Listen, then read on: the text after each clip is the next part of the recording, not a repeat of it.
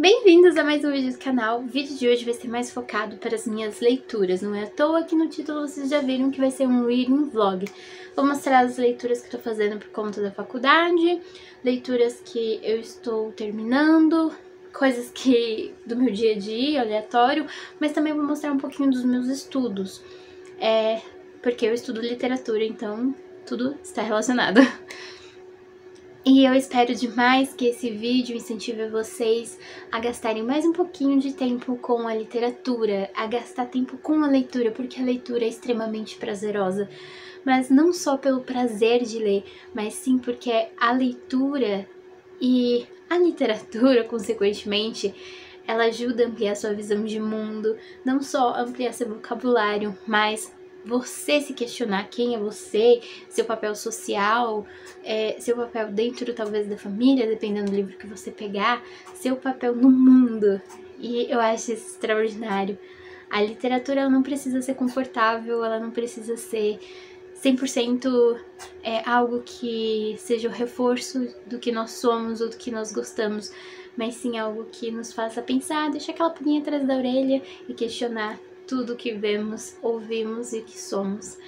Bom, eu espero que vocês gostem desse vídeo. Muito obrigada por estarem assistindo e bora começar. O primeiro livro que eu vou falar pra vocês é um livro que eu amo demais, que é Odisseia. Eu estou relendo por conta da faculdade, eu estou fazendo uma disciplina que é épica grega, no caso vai ser Homero, e a gente está analisando Odisseia.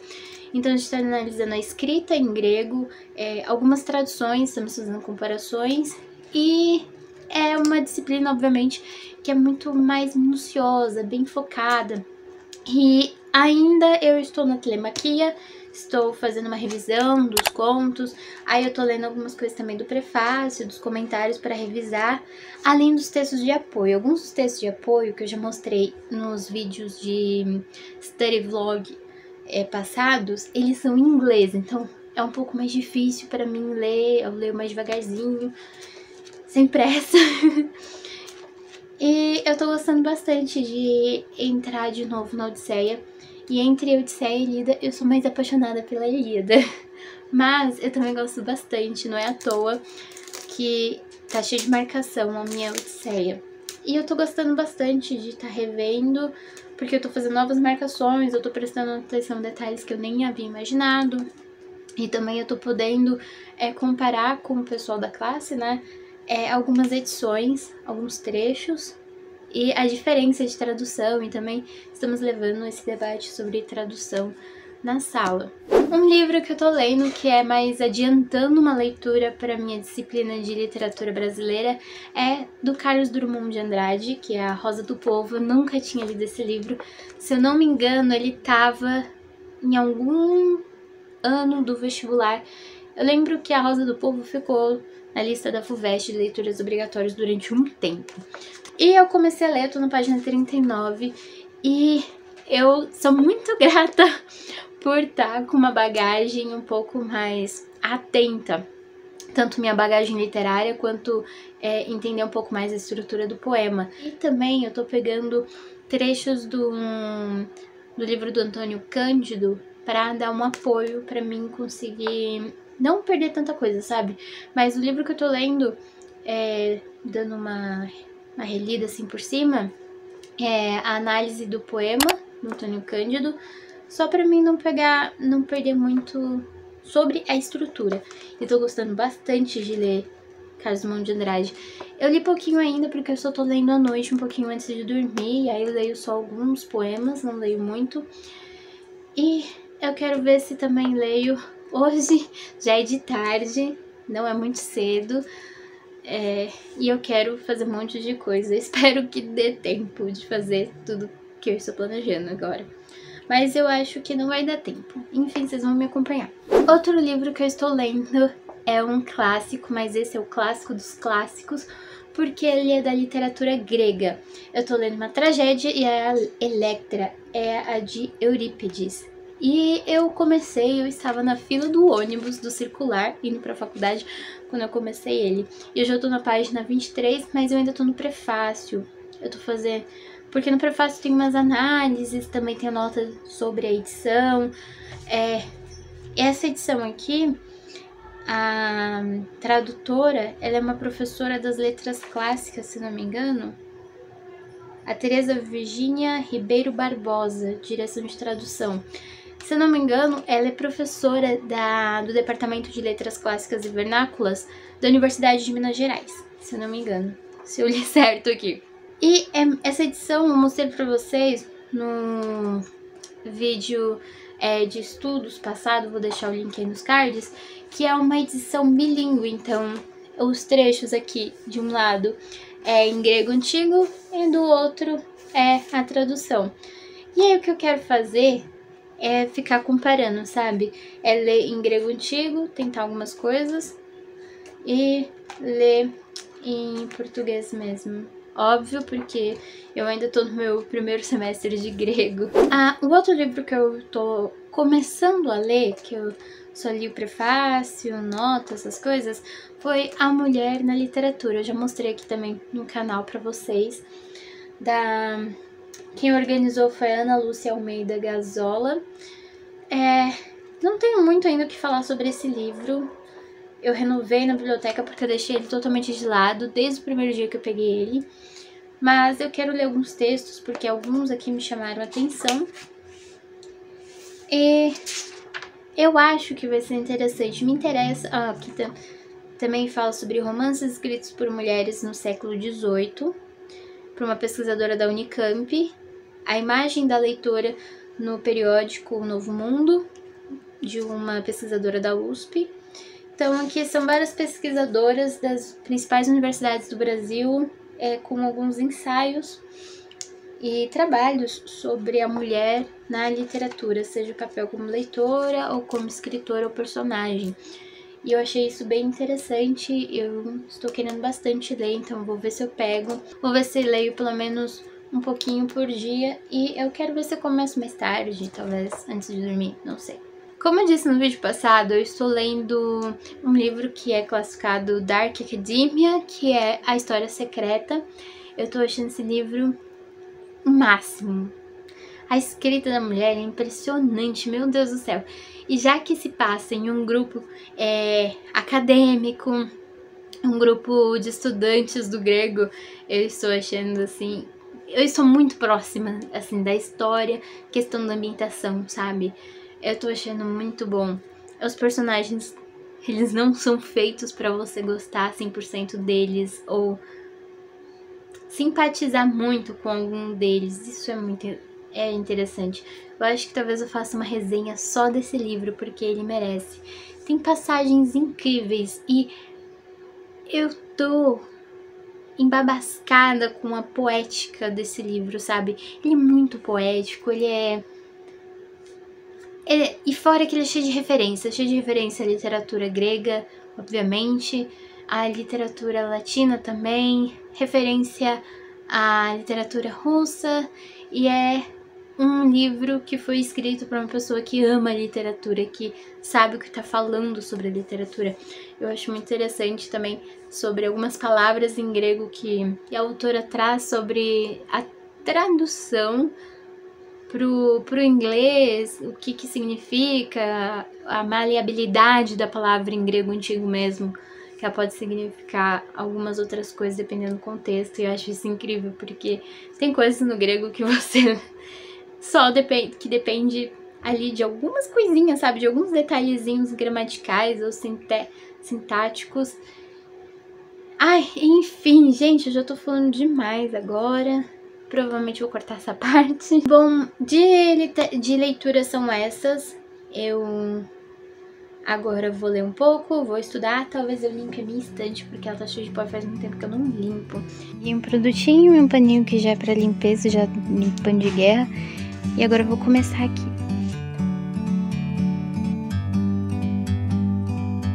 Like a bird on a tree I'm just sitting here. I got time, it's clear to see. From up here, the world seems small. Aí no fim eu só mudei esse nicho mesmo ele tava ali embaixo, aí eu passei ele pra cá. Aí os livros de não ficção passei pra cá pra baixo, né? Eles pularam pra cá. E os livros de fantasia que estão aqui, eu coloquei lá.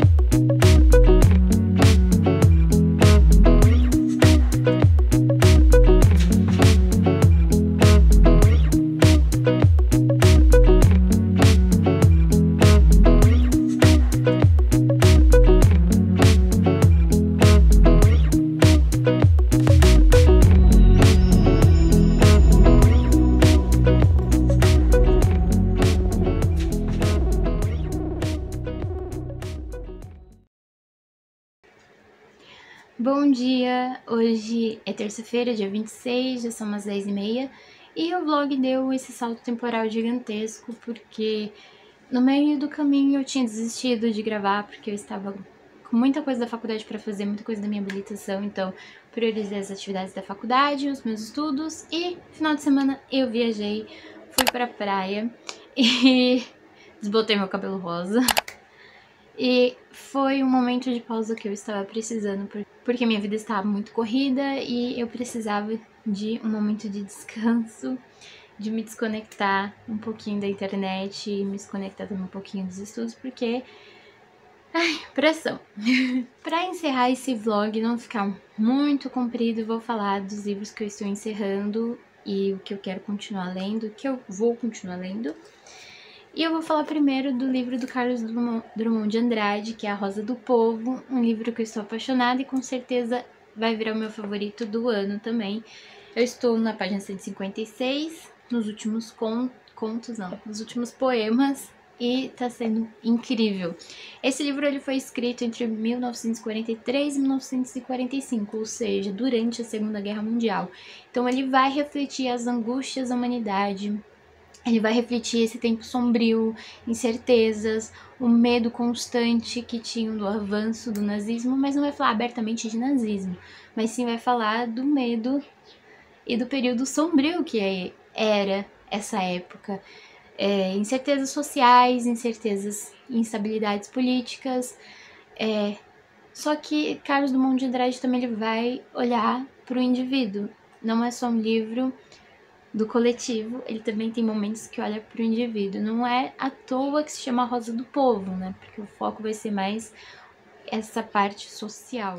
Essa é a obra mais extensa do autor, ele contém 55 poemas e ele é considerado um dos primeiros livros maduros do modernismo e da lírica no, nessa escola modernista. Para mim foi um livro, tá sendo, né, um livro maravilhoso. Vários poemas me marcaram, como o poema A Morte no Avião, que nessa edição aqui ela vai se encontrar na página 120. É, A Morte do Leiteiro, que se encontra na página 108, me marcando bastante. É, várias passagens aqui. É, o caso do vestido, o mito, é, são poemas que me marcaram bastante. Aqui também tem uma mistura de prosa poética, porque no modernismo tem esse rompente com a métrica, que ela é muito mais valorizada na, no classicismo do que no modernismo. No modernismo ele já tem esse romper com, com o antigo, trazer um novo. E aqui tem várias passagens que já são quase prosa, mas ainda são considerados poemas. E tem essa métrica diferente em alguns dos poemas. E tem sido um livro maravilhoso para mim. Eu sou apaixonada por Carlos Drummond de Andrade, desde muito novinha eu leio. Então, para mim, é tipo um autor que acompanha minha vida. Para mim, esse livro tem sido perfeito. Agora, falando de Odisseia, eu vou pro canto sexto agora. É, vou revisar, fazer algumas notas para aula de amanhã sobre telemaquia, as minhas notas finais. Já deixar tudo pronto. E vou ler é, o canto 6 de novo. É, fazer uma revisão de alguns cantos. Fazer uma revisão de alguns cantos aqui para aula de amanhã. Então, esse vai ser um que eu vou continuar durante o semestre todo, lendo de pouquinho em pouquinho. E por fim, Electra de Eurípides. Eu vou começá-lo oficialmente hoje, porque eu ainda estava no prefácio.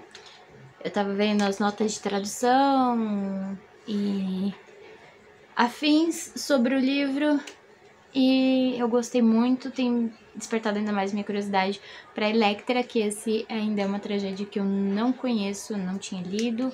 E eu não tinha visto ainda na faculdade alguma coisa a respeito, mas como é de Eurípides e como que é um clássico dos clássicos, eu quero ler.